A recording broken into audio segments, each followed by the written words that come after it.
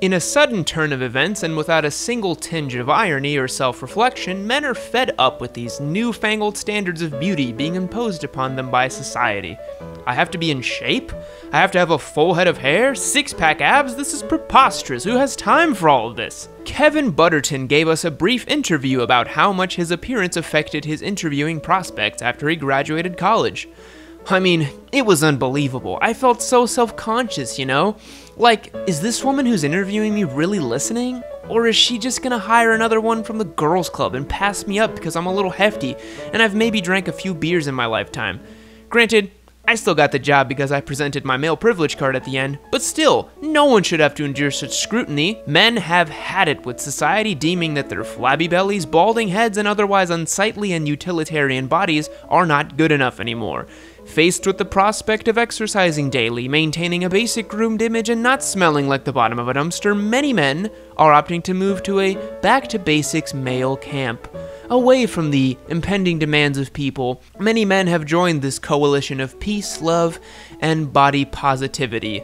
The camp, flabby and tolerant, or fat for short, is a body positive, male only camp which encourages these men to relinquish the chains of a society that no longer values them. Being that this is completely unprecedented, a group of people being held to unrealistic beauty standards, the camp has at this time decided not to accept any females into the camp because they couldn't possibly understand this plight that men face.